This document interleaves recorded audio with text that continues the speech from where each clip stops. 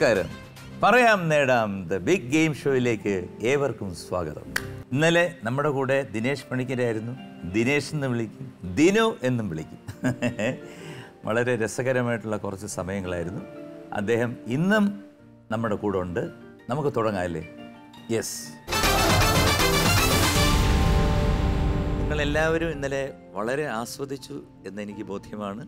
വീണ്ടും നമ്മുടെ ദിനേശ് ദിനു എന്നെല്ലാവരും വിളിക്കും. ദിനേശ് എന്ന് കുറച്ച് പേര് വിളിക്കും. ദിനേശ് പണിക്കർ എന്ന് പറഞ്ഞ് വേറെ വേറെ പണിക്കർ എന്ന് കുറേ പേര് വിളിക്കും. അതെ പണിക്കർ. ഇന്നലെ കുറേ കാര്യങ്ങൾ പറഞ്ഞല്ലേ? എന്തായാലും നമുക്കൊന്ന് തുടങ്ങിയിട്ട് നമുക്ക് ചോദ്യത്തിലോട്ട് പോവാം. ഓക്കെ. തീർച്ചയായിട്ടും. അപ്പം ആദ്യത്തെ സെഗ്മെന്റ് ആണ് സവാരി ഗിരിഗിരി. സവാരി ഗിരിഗിരി! സവാരി ഗിരിഗിരിയിൽ ആദ്യത്തെ ചോദ്യം ശ്രദ്ധിക്കൂ. ഒരു പാട്ടാണ്. കവിളിനയിൽ കുങ്കുമമോ പരിഭവവർണ പരാഗങ്ങളോ കരിമിഴിയിൽ കവിതയുമായി വാ വാ എന്റെ ഗാതെ നിന്റെ ചൊടിയിൽ വിരിയും മലരിനളികൾ മധുനുകരും ധിം ദങ്കടകടതരകടകട ധിം ദങ്കടകടതരകടകട ധിം ദങ്കടകടതരകടകട ധോം. Hey!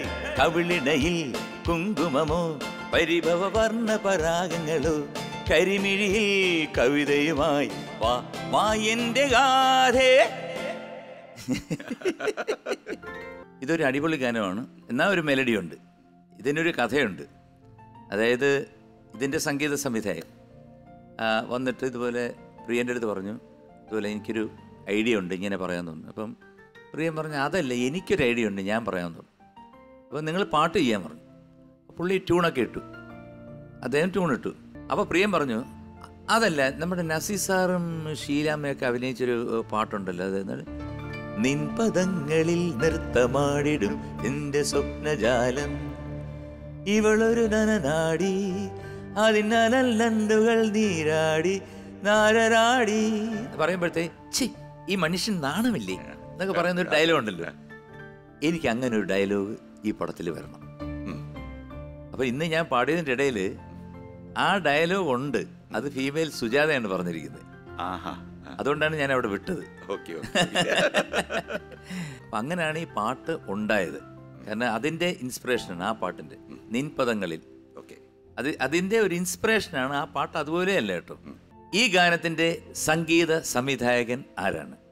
A. Ouseppachan B. Jerry Dev C. Shyam. ഒരു സംശയമില്ല. ഔസേപ്പച്ചൻ. ഏ ഔസേപ്പച്ചനെ ഞാൻ എടുത്തിട്ട് പൂട്ടി. അവിടെ ഇരിക്കട്ടെ. ഞാൻ നേരത്തെ പറഞ്ഞല്ലോ സംഗീത സംവിധായകനാണെന്നേ പറഞ്ഞുള്ളൂ. അതെ. ഉത്തരത്തിൽ അദ്ദേഹം ഉള്ളതുകൊണ്ടാണ് ഞാൻ പറയാത്ത പേര് പറയാത്തത്. ആ ആഹാ എനിക്ക് ചേട്ടനെ ഒരുപാട് വർഷത്തെ പരിചയമാണ് ഔസേപ്പച്ചൻ ചേട്ടനെ അതായത് ഒത്തിരി പാട്ടുകൾ. ഈ പാട്ടിന് മുമ്പും പ്രിയന്റെ ആദ്യത്തെ താളവട്ടം പിന്നെ മുകുന്ദേട്ട സുമിത്ര വിളിക്കുന്നു. അപ്പോൾ അതിന് അവിടെ വെച്ചേ എനിക്ക് പരിചയമാണ്. ഏഹ് ഔസേപ്പച്ചൻ ചേട്ടനൊരു ഒരു ജീനിയസാണ് ശരിക്കും പറഞ്ഞു കഴിഞ്ഞാൽ. എത്രയോ നല്ല പാട്ടുകൾ ചെയ്ത ഒരു വലിയ great violinist and a composer and a singer also പാട്ട് പാടുകയും ചെയ്യും. Yes nice person yes yes പടത്തിൽ വല്ലതും? ഇല്ല അതില്ല. പക്ഷേ ഈ പറഞ്ഞ ആ ഒരു നല്ല ബന്ധം വെക്കുന്ന ഒരു വ്യക്തിയാണ് ഇപ്പോഴും. എന്തായാലും സിനിമയിൽ നിന്നുള്ള അനുഭവമുണ്ട്. അപ്പോൾ ആ അനുഭവങ്ങളിൽ എന്തെങ്കിലും ഒരു രസകരമായിട്ടുള്ള അനുഭവം ഉണ്ടോ ഞാനൊരു വളരെ ഞാനെപ്പോഴും പറയുന്ന ഒരു ഭാഷ എന്ന് വെച്ചാൽ വഴിതെറ്റി നടനായ മനുഷ്യനാണ് ഞാൻ. കാരണം എന്റെ ഓൺ സിനിമകളിൽ ഒന്നും തന്നെ ഞാൻ അഭിനയിച്ചിട്ടില്ല. അതിനുശേഷം എന്നെ ഇങ്ങനെ ഓരോ സിനിമകളിൽ രണ്ട് ദിവസം മൂന്ന് ദിവസം സീരിയലിൽ വിളിച്ചു തുടങ്ങി. അപ്പോൾ അങ്ങനെ ഒരു നടനായിട്ട് മാറി. ഒരു ദിവസം എനിക്ക് കോൾ വരുന്നു. സഞ്ജീവ് പരവൂർ. സജീവ് പരവൂർ എന്നാണ് പുള്ളിയെ വിളിക്കുന്നത്. ഡയറക്ടറാണ്. ചേട്ടാ രണ്ട് ദിവസത്തെ വർക്കുണ്ട്. ഒരു മോഹൻലാൽ സുരേഷ് ഗോപിയൊക്കെ ഉള്ള വലിയ സിനിമയാണ്. അപ്പം ഞാൻ വിചാരിച്ചു യൂഷ്വൽ അതിനകത്ത് ഏതെങ്കിലും ഡോക്ടറിന്റെ വേഷമായിരിക്കും. അല്ലെങ്കിൽ പറഞ്ഞ പോലെ എബ്രോഡിൽ നിന്ന് വരുന്ന ഒരു അച്ഛൻ. അതിനൊക്കെയാണ് സാറിന് എന്നെ വിളിക്കുന്നത്. ഞാൻ ചെല്ലുന്നു. ഞാൻ വിചാരിച്ച പോലെ തന്നെ ഫസ്റ്റ് ഡേ ഷൂട്ട് ചെയ്തപ്പോൾ ഞാൻ വലിയൊരു ബി എം ഡബ്ല്യു കാറിൽ വന്ന് ഇറങ്ങുന്നു. വലിയൊരു മുതലാളിയാണ് ഞാൻ. ആ നേരെ ഈ പറയുന്ന അവിടുത്തെ മുഖ്യമന്ത്രിയോട് ഞാൻ പറയും അതാ എന്നെ വേണ്ടപ്പെട്ട ഒരാളാണ് ഈ കമ്മീഷണർ ആ കമ്മീഷണറെ വേണ്ട രീതിയിൽ നിങ്ങൾ കൈകാര്യം ചെയ്തേക്കണം. ട്രാൻസ്ഫർ കൊടുത്തേക്കണം. എന്ന് പറഞ്ഞ് ഞാൻ മുഖ്യമന്ത്രിയെ കെട്ടിപ്പിടിക്കുന്നു. അത്രയും വലിയ വലിയൊരു മനുഷ്യനാണ് ഞാൻ. ഞാൻ ഹാപ്പിയായി കാരണം ഫസ്റ്റ് ഡേ കിട്ടിയ സീൻ വളരെ നല്ല സീൻ വിചാരിച്ചു രണ്ടാമത്തെ ദിവസം ഇതുമാതിരി ഒരു സീൻ കാണും. രണ്ടാമത്തെ ദിവസം അഭിനയിക്കുകയും ചെല്ലുന്നു ചെല്ലുമ്പോൾ സുരേഷ് ഗോപിയുണ്ട് ഹരിശ്രീ അശോകനുണ്ട് ബിജു മേനനുണ്ട്. ഇവരെല്ലാവരും കൂടി ഇരുന്ന് സീൻ വായിച്ചുകൊണ്ടിരിക്കുന്നു. എല്ലാവരും സീൻ വായിച്ചിട്ട് എന്നെ നോക്കി ചിരിക്കുകയാണ്. ഞാൻ വിചാരിച്ചു എന്നെ നോക്കി ചിരിക്കേണ്ട കാര്യം എന്താ? അപ്പോൾ ഞാനും സുരേഷ് പിന്നിന്റെ അടുത്ത് പോയിരുന്നത് സീൻ വായിച്ചില്ലേന്ന് ഞാൻ പറയില്ല കാരണം എനിക്ക് അങ്ങനെ കാര്യമായിട്ടൊന്നും കാണൂലല്ലോ സാറിന്. എനിക്ക് സീൻ എടുത്ത് തന്നു. അപ്പോഴാണ് എനിക്ക് ആ സിനിമയിൽ ഞാൻ എന്ത് ക്യാരക്ടറാണ് ചെയ്യാൻ പോകണമെന്നുള്ളത് മനസ്സിലായത്. അതായത് ആ സിനിമയിൽ സുരേഷ് ഗോപിയുടെ മകളെ വീട്ടിലിട്ട് പൂട്ടി നശിപ്പിച്ച് റേപ്പ് ചെയ്ത് കൊല്ലുന്ന ഒരുത്തനാണ് ഞാൻ. എനിക്ക് ഒരു പ്രതീക്ഷയില്ലായിരുന്നു ഈ സിനിമ വില്ലനാണെന്നുള്ളത്. രണ്ട് ദിവസവും. രണ്ട് ദിവസവും. ഈ പറയുന്ന അതിനുശേഷം സുരേഷ് ഗോപി എല്ലാം വന്ന് കത്തി വെച്ച് എന്നെ കൊല്ലുന്ന ഒരു സംഭവമാണ് എടുക്കുന്നത്. അപ്പോൾ ആ സിനിമ കഴിഞ്ഞപ്പോൾ സത്യം പറഞ്ഞു കഴിഞ്ഞാൽ എന്നെ കുറേ പേര് വെറുത്തുപോയി. ഞാൻ ജീവിതത്തിൽ അങ്ങനത്തെ ഒരു വ്യക്തിയാണെന്ന് പലരും വിചാരിച്ചു പോയി. കാരണം ഞാനൊരു വാശിയായിട്ട് എടുത്ത് അത് ഒരു നന്നായിട്ട് അഭിനയിച്ചു എന്നാണ് എന്റെ വിശ്വാസം. ഇന്നും ആൾക്കാർ എന്നെ റിമെമ്പർ ചെയ്യുന്ന ഈ ജനകന്റെ വേഷമാണ്. വില്ലൻ. വില്ലൻ. അപ്പം എ ഔസെപ്പച്ചൻ. ഔസെപ്പച്ചൻ ഉത്തരം ശരിയാണ്. കൺഗ്രാചുലേഷൻസ് വെരി സവാരി ഗിരിഗിരിയിൽ രണ്ടാമത്തെ ചോദ്യം ഇതാ ശ്രദ്ധിക്കും. നായികയ്ക്ക് മോഹൻലാലിന്റെ കഥാപാത്രം അബദ്ധത്തിൽ പറഞ്ഞു കൊടുക്കുന്ന ക്യാപ്ഷൻ എന്താണ്? A wherever you go I would be there B wherever you go I will be there C wherever you go I am there wherever you go I will be there Gatha Jaan I love you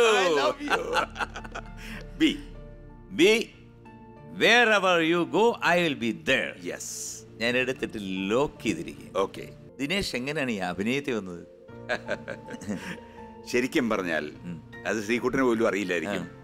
nineteen eighty വണ്ണിലാണ് അന്ന് ലാലുവായിട്ട് അന്ന് സുഹൃത്താണ് ഞാൻ. അപ്പോൾ ലാൽ അന്ന് ധന്യ എന്നൊരു cinema അഭിനയിക്കാൻ വേണ്ടിയിട്ട് ആലപ്പുഴ ഉദയ സ്റ്റുഡിയോയിൽ വന്നിട്ടുണ്ട്. അപ്പം ഞാനും ലാലും കൂടെ മുറിയിൽ നിന്ന് തമാശയൊക്കെ പറഞ്ഞിരിക്കുമ്പോഴേക്കും നമ്മുടെ പാച്ചിക്ക ഫാസിൽ അദ്ദേഹമാണ് അതിന്റെ സംവിധായകൻ. അദ്ദേഹം കയറി വന്നിട്ട് ലാലിനെ വിളിച്ച് മാറ്റി നിർത്തി. മാറ്റി നിർത്തിയിട്ട് ലാലിനോട് പറഞ്ഞു എന്തൊക്കെയോ സംസാരിക്കുന്നു എന്നിട്ട് എന്നെ നോക്കുന്നു. അപ്പം എനിക്ക് മനസ്സിലായി എനിക്കിട്ടോ എന്തോ പണി വരികയാണ് എന്ന്. കുറച്ച് കഴിയുമ്പോൾ ലാലു എന്ന് പറയുന്നത് ദിനേശേ അവിടെ ഒരു പാട്ട് സീനിൽ അഭിനയിക്കേണ്ട ഒരാൾ എത്തിയിട്ടില്ല. അത് ദിനേശ് എന്റെ സ്ട്രക്ചറിൽ കറക്റ്റാണ് ദിനേശ് ഒന്ന് പോയി അഭിനയിക്കാൻ പറ്റുമോ ദാസേട്ടൻ പാടിയ ഒരു പാട്ട് ചുണ്ടനക്കി പാട്ട് പാടി ഡാൻസ് ചെയ്യണം. മനസ്സിനകത്ത് ആഗ്രഹം തോന്നിയെങ്കിലും പെട്ടെന്ന് ഇങ്ങനെ വിളിച്ചു പറഞ്ഞപ്പോൾ ഒരു ഭയങ്കര പേടിയായി. പക്ഷേ ധൈര്യത്തോടെ അങ്ങ് ചെന്നു. അങ്ങനെ രണ്ട് ദിവസം പാച്ചിക്കയെ ബുദ്ധിമുട്ടിച്ചുകൊണ്ട് ധന്യ എന്ന സിനിമയിൽ ഞാനൊരു പാട്ട് പാടി ഡാൻസ് ചെയ്തു. ചുണ്ടാനിക്കാൻ മതിയല്ലോ. പക്ഷേ അത് ഭയങ്കര ബോറായിരുന്നു. അതുപോലെ ഞാൻ അഭിനയമൊക്കെ നിർത്തി. അതിനുശേഷം എന്റെ ഓൺ സിനിമകളിൽ പോലും ഒരു സീനിൽ പോലും ഞാൻ അഭിനയിച്ചിട്ടില്ല. പക്ഷേ ഇതെല്ലാം കഴിഞ്ഞ് എന്റെ പ്രൊഡക്ഷനൊക്കെ കഴിഞ്ഞിട്ട് ഒരു ദിവസം ഇരിക്കുമ്പോഴാണ് നമ്മുടെ കെ കെ രാജീവ് എന്ന സംവിധായകൻ എന്നെ ഒരു സീരിയലിൽ അഭിനയിക്കാൻ വിളിക്കുന്നത്. ഞാൻ പറയും രാജീവ് നിങ്ങൾക്ക് ആൾ മാറിപ്പോയതാ. അല്ലെങ്കിൽ ഫോൺ നമ്പർ മാറിപ്പോയതാ. ഞാൻ അഭിനയിക്കുന്ന ആളല്ല. പക്ഷേ അതൊരു വഴിത്തിരിവായി. അങ്ങനെ കെ കെ രാജീവിന്റെ സ്വപ്നം എന്ന സീരിയലിൽ അഭിനയിക്കാനൊരു ചാൻസ് എനിക്ക് ഒരു പതിനേഴ് വർഷമായിട്ടുണ്ട്. അവിടെ മുതലാണ് എന്റെ ഒരു ശുക്ര ശുക്രൻ. ഏ, ഒരു നടനായിട്ട് ഞാൻ മാറിയത്. So B wherever you go I will be there ഉത്തരം ശരിയാണ്. വെരി ഗുഡ് കൺഗ്രാറ്റുലേഷൻസ് അടുത്തത് മൂന്നാമത്തെ ചോദ്യം. ഒരു video.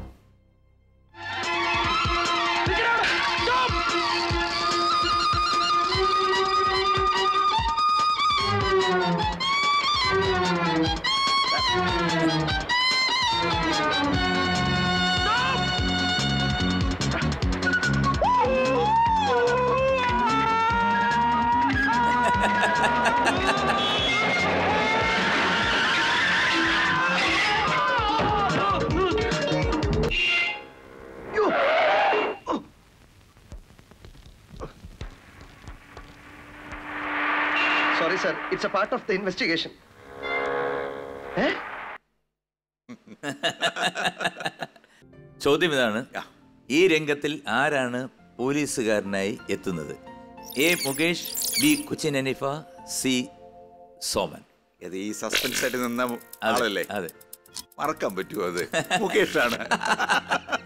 എ മുകേഷ്. യെസ് ഞാൻ എടുത്തിട്ട് പൂട്ടി. ഓക്കെ കാരണം ഇത് പറഞ്ഞപ്പോഴ്. അപ്പോഴാണ് ഞാനൊരു കാര്യം ആലോചിച്ചത്. അതായത് ഈ ദിനേശ് പണിക്കർ എന്നൊരു വ്യക്തി നമ്മൾ ഈ പറയാം നേടാമിൽ വന്നു കഴിഞ്ഞാൽ ഇതിൽ ഇരുപതിനായിരം അല്ല രണ്ട് ലക്ഷം രൂപ ഉണ്ടെങ്കിൽ അടിച്ചോണ്ട് പോകും കാരണം സിനിമയല്ലേ തൊഴിൽ എല്ലാ കാര്യങ്ങളും അറിയാമല്ലോ. എല്ലാം അറിയാം. മാത്രമല്ല ഞാൻ വളരെ കാര്യമായിട്ട് തന്നെ സിനിമ തിയേറ്ററിൽ പോയി ആസ്വദിക്കുന്ന ഒരാളാണ്. അപ്പം എനിക്ക് തോന്നുന്നില്ല എന്നെ പോലെ തിയേറ്ററിൽ പോയി സിനിമ കണ്ട് ഒരു ആസ്വദിക്കുന്ന സിനിമക്കാരുണ്ടാവുന്നു. ആ. ഒരു ദിവസം പോയി രണ്ടും മൂന്ന് സിനിമ ഇപ്പോഴും ഞാൻ പോയി കാണാറുണ്ട്. ശരി. അപ്പൊ ഇപ്പോൾ ഉള്ള സീരിയൽ ഉണ്ടല്ലേ. ഏതാണ് പേര്? പാടാത്ത പൈങ്കിളി. പാടാത്ത പൈങ്കിളി. അപ്പൊ അതിനകത്ത് എന്താണ് ഒരു സ്നേഹമുള്ള അച്ഛന്റെ അല്ലേ? അതെ അതെ.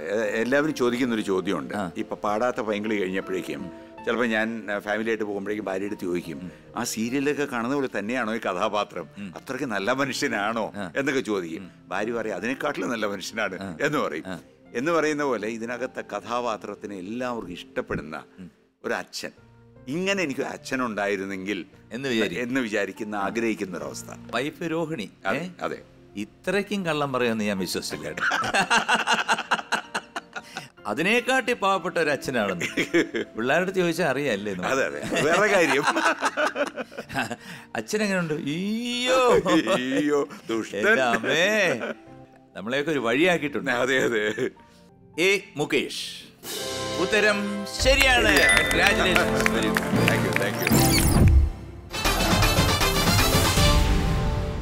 സവാരി ഗിരിഗിരിയിൽ ഇതാ നാലാമത്തെ ചോദ്യം.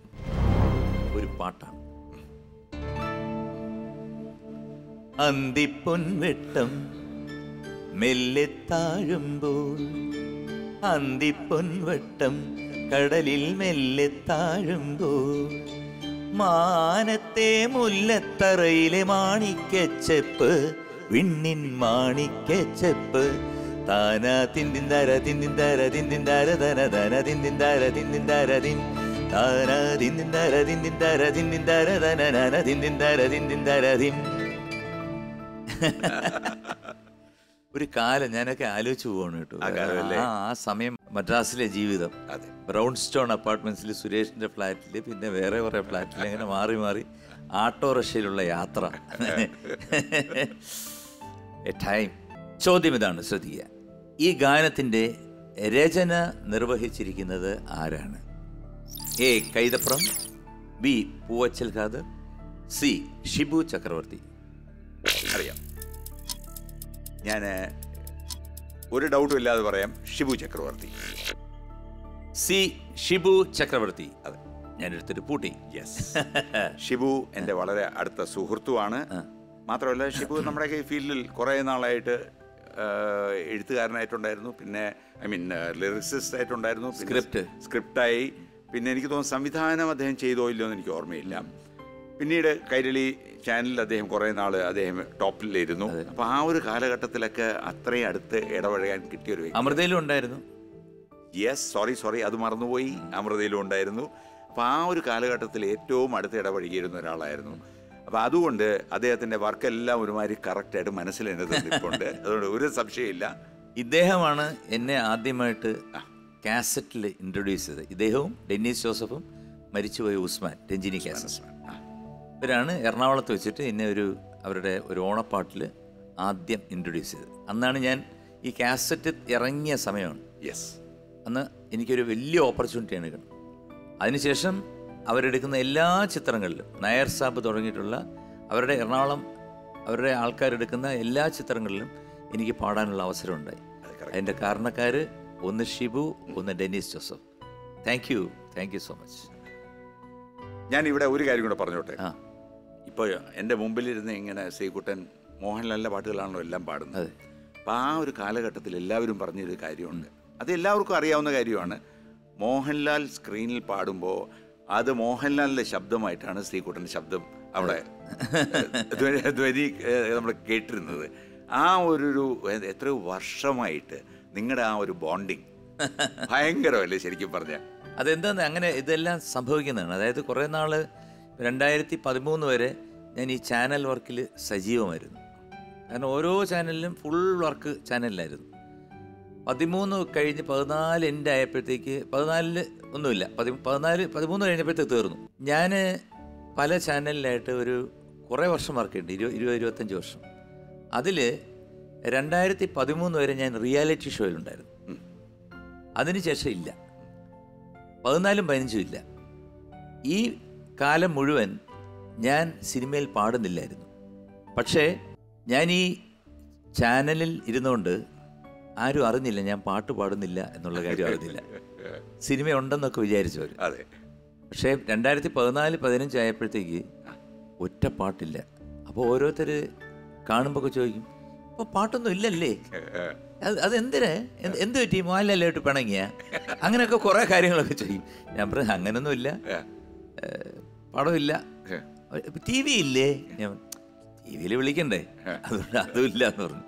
അപ്പം അങ്ങനെ ഞാൻ അലഞ്ഞു തിരിഞ്ഞ് നടന്ന ഒരു സമയത്താണ് ഒപ്പം എന്ന് പറഞ്ഞൊരു സിനിമ വരുന്നത് രണ്ടായിരത്തി പതിനാറിൽ ഏ. അതിനകത്ത് ഞാൻ രണ്ട് പാട്ട് പാടി ഫോർ ഫ്രെയിംസ് എന്ന് പറഞ്ഞു. സൂപ്പർ ഡൂപ്പർ ഹിറ്റായി. ചിന്നമ്മ എന്നുള്ള പാട്ടും അതുപോലെ തന്നെ മിനിങ്ങും മിനുങ്ങും മിന്നാ മിനുങ്ങി. അത് വന്ന് നേരത്തെ പറഞ്ഞ പോലെ മോഹൻലാലുമായിട്ട് വീണ്ടും ഒരു കോംബോ ആയി. ആൾക്കാർ മറക്കുന്നതിന് മുമ്പേ കയറി പിടിച്ചു. പക്ഷെ അത് ഇനി റിലീസാകാൻ പോണ രണ്ട് പടത്തിലും കൂടെ ഉണ്ട്. ഒന്ന് മരയ്ക്കാർ പിന്നെ ബി ഉണ്ണികൃഷ്ണന്റെ ആറാട്ട്. അപ്പോൾ വീണ്ടും ആ ഒരു കോമ്പിനേഷൻ സക്സസ് വീണ്ടും തിരിച്ചു വരുന്നു. ഹൺഡ്രഡ് പേഴ്സന്റ് കോമ്പിനേഷൻ മാജിക് എന്ന് വേണമെങ്കിൽ മാജിക് യെസ് സി ഷിബു ചക്രവർത്തി. അതെ. ഉത്തരം ശരി. ശരിയാണ്.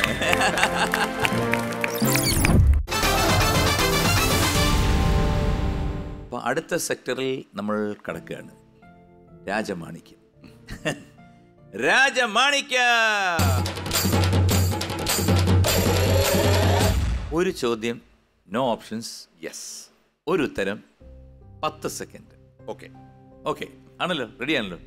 ഞാൻ റെഡി റെഡി റെഡി എല്ലാം പഠിച്ചോണ്ട് വന്നിരിക്കുകയല്ലേ? അങ്ങനെയല്ല.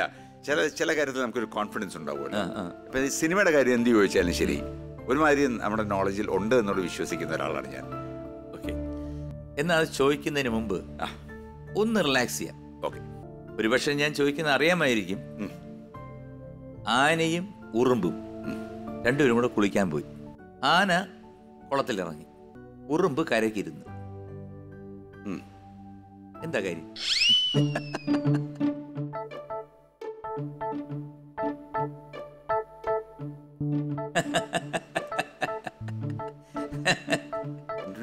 കുളിക്കാൻ പോയിട്ട് ഒരാൾ കരക്കിരുന്നു.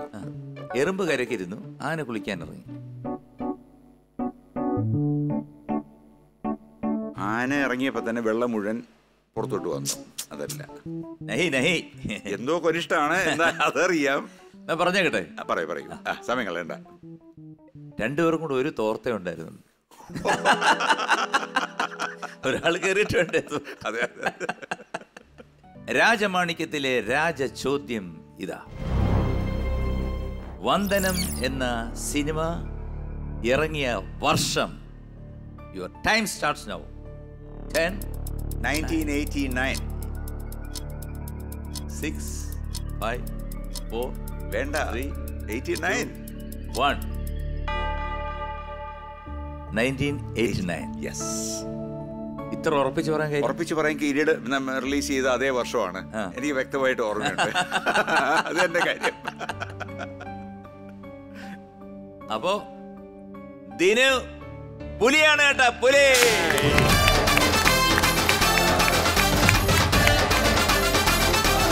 You one twenty thousand rupees thank you thank you അപ്പോ പറയാം നേടാം എന്ന ഈ ഷോയിൽ വന്നതിൽ ഒരുപാട് നന്ദിയുണ്ട്.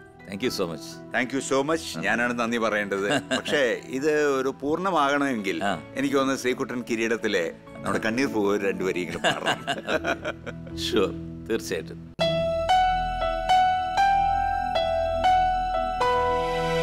കണ്ണീർ പൂവിന്റെ കവിളിൽ തലോടി ഈണം മുഴങ്ങും പഴം പാട്ടിൽ മുങ്ങി മറുവാക്കു കേൾക്കാൻ കാത്തു നിൽക്കാതെ പൂത്തുമ്പി എന്തേ മറിഞ്ഞു?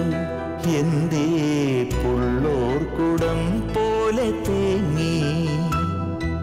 കണ്ണീർ പൂവിന്റെ കവിളിൽ തലോടി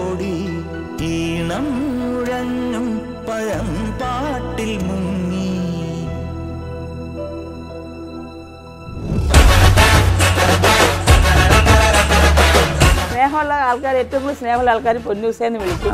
ഒരുപാട് സ്നേഹമുള്ള രണ്ട് വിളിക്കും മിണ്ടി പോരുത് എന്ന് പറഞ്ഞിട്ട് എനിക്ക് മിണ്ടാനൊന്നുമില്ല